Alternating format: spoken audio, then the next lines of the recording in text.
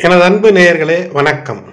மகர ராசி அன்பர்களுக்கு இனிய புத்தாண்டு வாழ்த்துக்கள். பாபு சயின்டிஃபிக் அஸ்ட்ராலஜி இந்த குடும்பத்திலே இரண்டு லட்சம் சப்ஸ்கிரைபரை நெருங்கி கொண்டிருக்கும் இந்த வேளையிலே இரண்டாயிரத்தி இருபத்தி மூன்று இந்த ஆண்டு மகர ராசி அன்பர்களுக்கு புத்தாண்டு மிக அருமையாகவும் இனிமையாகவும் உங்களுடைய இதுவரை இருந்த கஷ்டங்கள் எல்லாம் விலகி புத்தாண்டு மிக செழிப்போடும் கலர்ஃபுல்லாக வண்ணங்கள் நிறைந்ததாக உங்களுடைய எண்ணங்கள் எப்போதும் எழுச்சி பெற்று உத்வேகத்துடன் நீங்கள் வெற்றியை அடைவதற்கான எல்லா இலக்குகளையும் நீங்கள் நிர்ணயித்து வெற்றியை நோக்கி செலுத்தக்கூடிய உங்களுடைய அம்பு குறிதவராது வெற்றியை பெற்றுத்தரக்கூடிய அமைப்போடு இந்த புத்தாண்டு பூக்கிறது.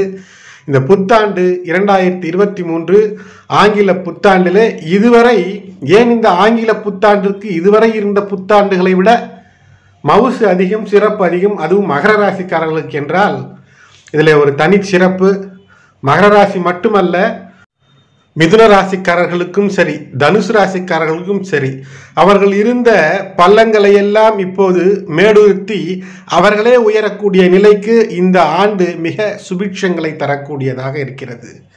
இரண்டாயிரத்தி பத்தொம்போது இருபது இருபத்தி ஒன்றிலே மகர ராசியிலே குறிப்பாக திருவோண நட்சத்திரத்திலே பிறந்தவர்களுக்கு அவர்கள் பட்ட துன்பங்கள் துயரங்கள் எல்லாம் அளவிட முடியாதவை. அவையெல்லாம் கடந்து வந்து விட்டார்கள். அவிட்டு நட்சத்திரத்திலே உங்களுடைய குடும்பத்திலே மகர ராசியிலே ஒன்று இரண்டு பேர் இருந்து விட்டால் அல்லது இப்படிப்பட்ட காம்பினேஷன் மிதுன ராசி மகர ராசி என்று இருந்து அதோடு கூட ஒரு விருச்சிகம் இருக்கக்கூடிய சமயத்திலே பட்ட கஷ்டங்கள் எல்லாம் அதிகமாக இருந்திருக்கும். நான் சூட்சமமாக பலன்களை இப்போது விரிவாக சொல்வதற்கில்லை. மகரத்திற்கு என்னென்ன செய்தால் இந்த புத்தாண்டு மிக அற்புதமாக இருக்கும் என்பதை பற்றி இந்த பதிவிலே சுருக்கமாக உங்களுக்கு தருகின்றேன். உங்களுடைய கனவுகள் எதுவானாலும் இப்போது நிறைவேறும். நல்ல விஷயங்களை கனவாக காணுங்கள். கனவுகள் வந்து நீங்கள் பலிக்கக்கூடிய விஷயத்தை இந்த மகர ராசிக்காரர்களுக்கு மட்டும் அப்படி ஒரு தன்மை. நீங்கள் காணக்கூடிய கனவுகள் மெய்ப்படக்கூடியதாய் இருக்கும். அது நல்ல விஷயமாக இருந்தால் எடுத்துக்கொள்ளுங்கள். அல்லாத கனவுகளாக இருந்தால் விட்டுவிட்டு விட்டு அதை ஒரு எச்சரிக்கையாக எச்சரிக்கை மணியாக எடுத்து உங்களுடைய வாழ்க்கையை நகற்றுங்கள் வெற்றி என்பது உங்களுக்கு நிச்சயம் உண்டு. ஏனென்றால் ஜென்மச்சனியே விலகி ஜனவரி பதினேழு இரண்டாயிரத்தி இருபத்தி மூன்றிலே உங்களுக்கு பாதச்சனியாக வருபவர் இப்போது உங்களுடைய ராசிநாதன் கும்பராசியிலே சென்று இரண்டாம் இடத்திலே அமரும்போது உங்களுக்கு அற்புதங்களை செய்வார். முக்கியமாக விளையாட்டாக செய்யக்கூடிய விஷயங்களிலே சிக்கல் வரக்கூடிய அமைப்பு ஒன்று ஏற்படும். அதுதான் இதிலே மைனஸ் பாயிண்ட் இங்கு கவனமாக இருங்கள். எதையுமே சீரியஸாக எடுத்துக்கொண்டு திட்டம் திட்டி பேசுவதிலே நான் சொல்வது பேசுவதிலே சற்று கவனத்தோடு பேசுவது என்பது சிறப்பை தரும்.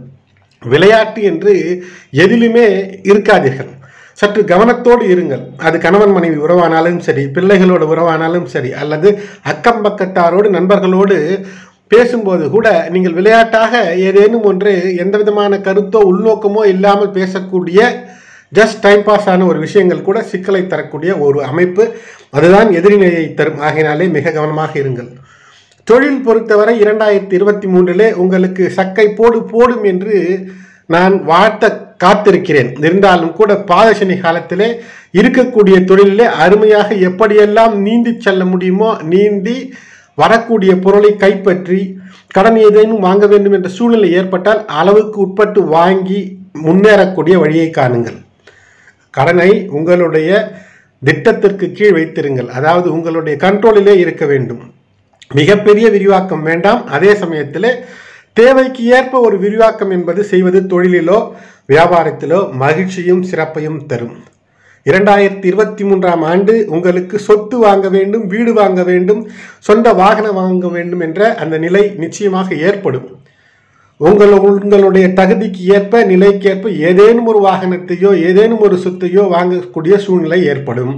ஆனால் அதில் சில கடன்கள் ஏற்பட்டுத்தான் ஏற்படக்கூடிய அமைப்பு காணப்படுகிறது. இருந்தாலும் கடன் இல்லாமல் வாங்கலாம் என்று முயற்சி செய்யலாம் என்று பார்த்தீர்கள் என்றால் அது இப்போது நடக்காத சூழ்நிலையாக இருக்கும். ஆகையினாலே நூறு ரூபாய்க்கு ஒரு சொத்து என்றால் அதிலே ஒரு முப்பது இருபது ரூபாய் கடன் இருந்தால் தப்பில்லை. ஆகினாலே நல்ல ஆலோசனை பெற்று கடன் வாங்கினாலும் சரி சொத்து வாங்கினாலும் சரி வாகனம் வாங்கினாலும் சரி ஒரு நல்ல குருவினுடைய ஆலோசனை பெற்று அந்த துறையிலே வல்லுநர் ஆலோசனை பெற்று செய்யுங்கள். அதேபோல் வெள்ளிக்கிழமை அன்று மகாலட்சுமிக்காக ஒரு சிறிய பூஜையாவது செய்யுங்கள். வியாழக்கிழமைகளிலே பெருமாளுக்கான வழிபாடு செய்யுங்கள். சனிக்கிழமைகளிலே அனுமன் வழிபாடு தவறாது செய்யுங்கள். உங்கள் இல்லத்து அருகிலே இருக்கக்கூடிய சிவன் ஆலயங்கள் இருந்தால் அல்லது சிவன் ஆலயங்களுக்கு செல்லும்போது சிவன் கோயிலுக்கு செல்லும்போது நிச்சயமாக நந்தியை வணங்கக்கூடிய அந்த வாய்ப்பை தவறாது பெற்று அருள் பெறக்கூடிய அமைப்பு என்று ஏற்படுத்தி கொள்ளுங்கள். பிரதோஷ காலங்களிலே சிவனை நினைப்பது நந்தியை நினைப்பது என்பது மிக முக்கியமான ஒரு விஷயமாக ஏற்றுக்கொள்ளுங்கள். அது மட்டுமல்ல இதுவரை உங்களுக்கு இருந்த மன அழுத்தம் உங்களை விட்டு அகல்கிறது. அந்த மன அழுத்தத்தை விட்டு வெளியே வந்த உங்களுக்கு இதோடு ஒரு பெரிய பொற்காலம் தேவையா? நிச்சயமாக இனி உங்களுக்கு உறக்கத்தை நிம்மதியை கெடுத்த நிலைகள் எல்லாம் அந்த எதிரிகளினுடைய நிலைகள் எல்லாம் அந்த கடன் நிலைகள் எல்லாம் கஷ்ட நிலைகள் எல்லாம் துக்க நிலைகள் எல்லாம் இரண்டாயிரத்தி இருபத்தி இரண்டோடு கழிந்துவிட்டு இரண்டாயிரத்தி இருபத்தி மூன்றிலே மிக சந்தோஷ நேரங்கள் உங்களுக்கு ஏற்படுத்தி கொள்ள உங்களுடைய முயற்சிகளை தொடர்ந்து நல்ல திசையிலே செயல்படுத்துங்கள். முக்கியமாக ஒவ்வொரு திசையிலும் வெற்றி என்பது நிச்சயமாக உங்களுக்கு காத்திருக்கிறது. மன அழுத்தத்தை தாண்டி வந்துவிட்டீர்கள். மரண பயத்தை தாண்டி வந்துவிட்டீர்கள். மரண பயம் என்றால் என்ன? ஐயோ என்ன நடக்குமோ ஏது நடக்குமோ அடுத்து என்னவோ நம் நல்லபடியே முயற்சி செய்தாலும் அந்த விஷயங்கள் உங்களுடைய அனுகூலமாய் நகரவில்லை என்ற அந்த வருத்தம் இனி களையப்படுகிறது. நூறு சதவீதம் மகிழ்ச்சி உறுதி என்பதை மனதிலே வைத்துக்கொண்டு இரண்டாயிரத்தி இருபத்தி மூன்று இனிய புத்தாண்டாக உங்களுக்கு அமைகிறது. வருடம் முழுவதும் அவ்வப்போது ஏற்படக்கூடிய கிரக நிலைகளின் அடிப்படையிலே ஏற்படக்கூடிய பலன்களை கணித்து உங்களுக்கு தொடர்ந்து தந்து கொண்டிருக்கின்றேன். ஆகையினால் தான் சப்ஸ்கிரைப் செய்து பெல் பட்டன் அழுத்தி தொடர்ந்து இணைந்து ஆதரவு தர அன்போடு வேண்டுவேன். பரிகாரம் என்ன செய்யலாம்? எந்த கோயிலுக்கு போகலாம் என்று உங்களுடைய மனம் கேட்கும் எனக்கும் புரிகிறது. முதலிலே ஒரு வேலையிலே கான்சன்ட்ரேட் செய்யுங்கள். ஏதாவது ஒரு வேலை எடுத்தால் அதை தொடர்ந்து செய்யுங்கள். ஒரு ஒரு வேலையாக எடுத்த வேலையை முடிப்பதற்கு என்ன திட்டமோ அதை செயலாக்கப்படுத்துங்கள். அடுத்தது முக்கியமாக நீங்கள் விட வேண்டியது எது தெரியுமா? சனி பகவான் மந்தன் என்று அழைக்கப்படுபவர். அவர் உங்களுடைய ஜென்ம ராசியிலே அமர்ந்திருந்த வரை இருக்கும் வரை அதாவது ஜனவரி பதினேழு இரண்டாயிரத்தி இருபத்தி மூன்று வரை கூட அந்த லேசின சோம்பேறித்தனம் மடி என்பார்கள். தமிழே மடி என்றால் சோம்பேறித்தனம். நெடுநீர் மறவி மடி துயில் நான்கும் கெடுநீரார் காமக்கலன் என்பார் வள்ளுவர். ஆம் நெடுநீர் ஒன்றை காலம் தாழ்த்தாது செய்ய பாருங்கள். அல்லது எப்படி செய்ய வேண்டுமோ அந்த நேரத்திற்கு காத்திருந்து செய்யுங்கள். மறவி ஏதேனும் மறந்து விடுவது என்பதை எப்படி தவிர்ப்பது? குறித்து வைத்துக்கொண்டு இது இது இப்படி செய்ய வேண்டும் என்று ஷெட்யூல் போட்டு ஒரு பட்டியலிட்டு வேலை செய்யுங்கள். மடி சோம்பேறித்தனம் துயில் அதிகமாக தூங்குவது இந்த நான்கையும் விட்டுவிட்டு நீங்கள் உங்களுடைய செயலை செய்யும்போது இதுவே பரிகாரமாக மிகப்பெரிய உயரத்தை அடைய முடியும். அதோடு விரைவாக செயல்படுங்கள்.